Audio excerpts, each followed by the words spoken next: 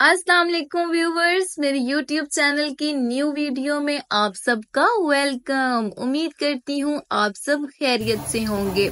आज मैं आप लोगों के लिए इतने मज़ेदार चिकन जिंगर पॉकेट्स की रेसिपी लेकर आई हूँ। जब आप लोग इस रेसिपी को घर में बनाएँगे ना तो आपके घर वाले जब इसको खाएँगे तो आपको ढेरों ढेर जो है ना, वो दुआएँ देंगे। अफ्तारी में बनाकर अपने दस्तरखान की रौनक को बढ़ा सकते हैं। चलिए तो आज की रेसिपी हम स्टार्ट करते हैं।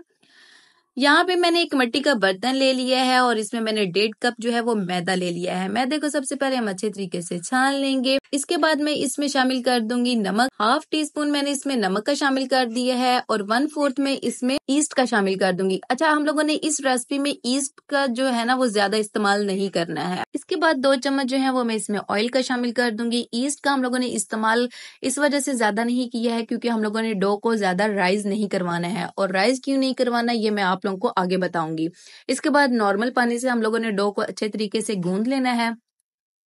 जब तक मैं अपने डो को गूंद रही हूँ चैनल पर न्यू है तो जल्दी जल्दी से चैनल को सब्सक्राइब कर दीजिए और साथ ही के बेल आइकन को भी लाजमी प्रेस कर दीजिएगा।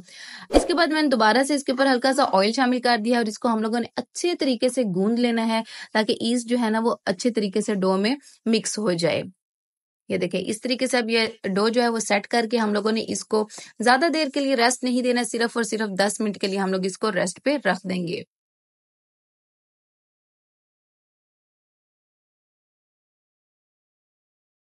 इसके बाद हम लोग इसकी जो फिलिंग है वो रेडी कर लेते हैं। यहाँ पे मैंने बोनलेस चिकन ले लिया है, इसको मैंने लंबाई शेप में कटिंग कर लिया है। ये देखिए इसके इतने इतने से हम लोगों ने क्यूब्स बना लेने हैं। ये देखिए कितने खूबसूरत से हम लोगों ने इसके क्यूब्स बना लिए हैं। इसको एक बॉल में शिफ्ट कर देंगे और अब हम लोग इसको मैरिनेट कर देंगे। यहाँ पे मैंने हाफ़ चम्मच जो है वो दड़ा मिर्च ले ली है।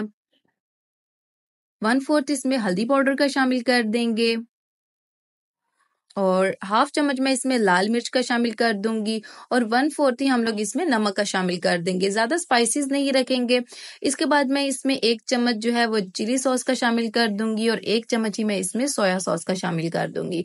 अब हम तमाम चीज़ों को इन अच्छे तरीके से मिक्स कर लेंगे और इसको 10 मिनट के लिए मैरिनेट करके रख देंगे। फ्रिज में रखेंगे तो ज़्यादा बेहतर रहेगा। और यकीन माने जब आप लोग इसको अफ्तारी में बनाएँगे ना तो आपके बच्चे तो क्या बड़े भी इसको बहुत ही ज़्यादा शौक से खाएँगे ये देखिए मैरिनेशन जो है वो कंप्लीट हो गया है। इसके बाद हम लोग इसके क्रम्स बना लेते हैं। यहाँ पे पहले हम लोगों ने सिंपल मैदे में इसको हम लोगों ने अच्छे तरीके से कोट कर लेना है।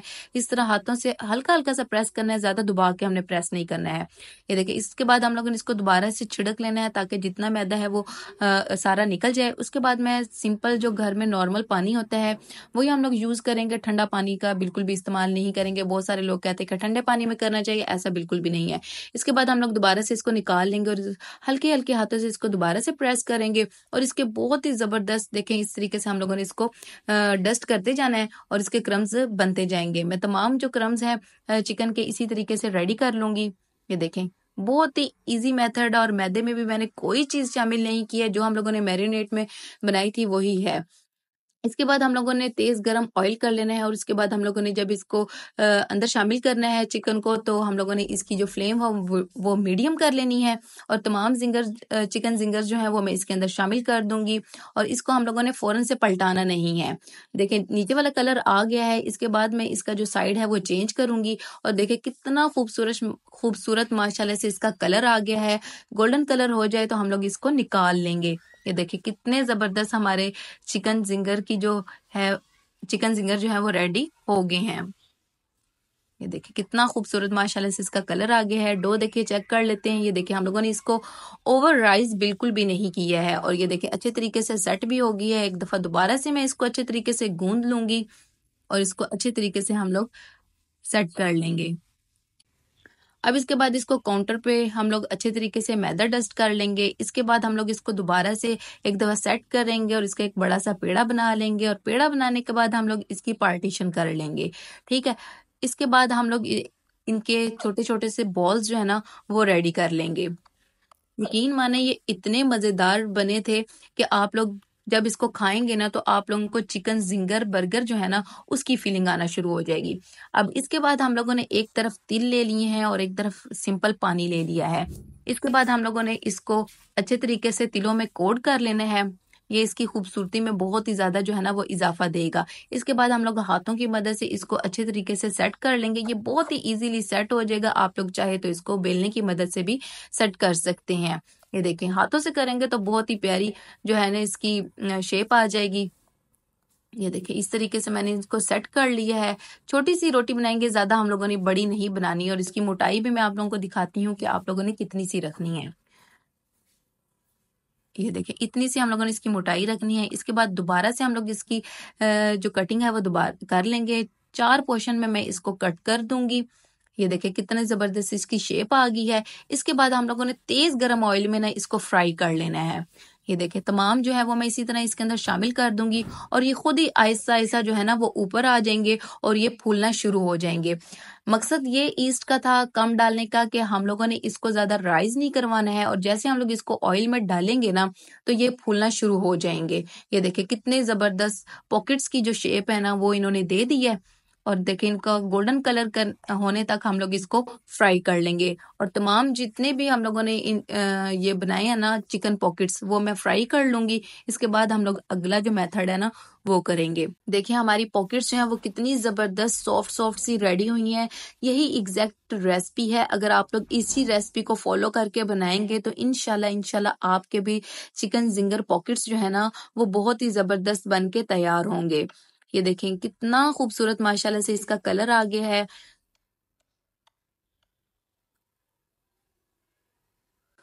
इसी तरीके से ये देखें, मैंने तमाम जो पॉकेट्स हैं वो रेडी कर ली हैं और इनकी लुक चेक करें, कितनी कमाल की आ रही है।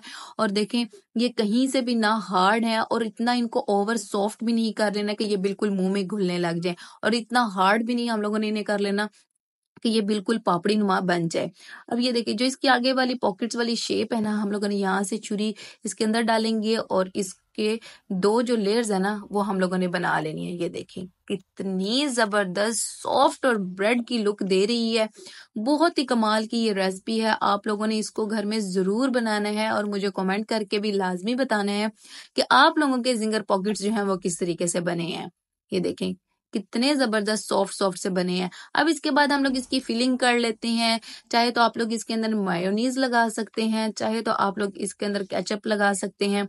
बहुत ही ज़बरदस्त टेस्ट देगी और बहुत ही झटपट बन जाने वाली ये रेसिपी है। इसके बाद हम लोग इसके अंदर सलाद पत्ता जो है वो भी रख सकते हैं। मैं यहाँ पे कैबिज जो है वो रख रही हूँ। इसके बाद मैंने इसके अंदर अनियन का शामिल कर दिया है। इसके बाद जो हम लोगों ने चिकन जिंगर जो बनाए थे, वो हम लोगों ने शामिल कर दिए हैं। ये देखिए कितनी खूबसूरत इसकी लुक आ रही है। सारे के सारे जो है पॉकेट्स में इसी तरीके से बना लूँगी और आप लोगों की इसकी फाइनल लुक दिखाती हूँ कि कितनी ज़बरदस्त और डिसेंट लग रही है।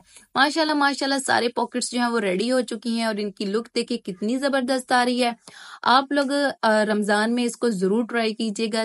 स्पेशली तब जब आप लोगों ने घर में किसी की दावत रखी हो, तब तो इसको ज़रूर बनाइएगा। और ऐसी डिफरेंट किस्म की रेसिपी देखना चाहते हैं तो मेरे चैनल को जल्दी जल्दी से सब्सक्राइब कर लीजिए और साथ ये ये बेल आइकन को भी लाजमी प्रेस कीजिएगा।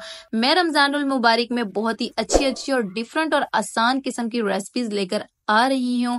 दुआओं में याद रखिएगा। अल्लाह हाफिज।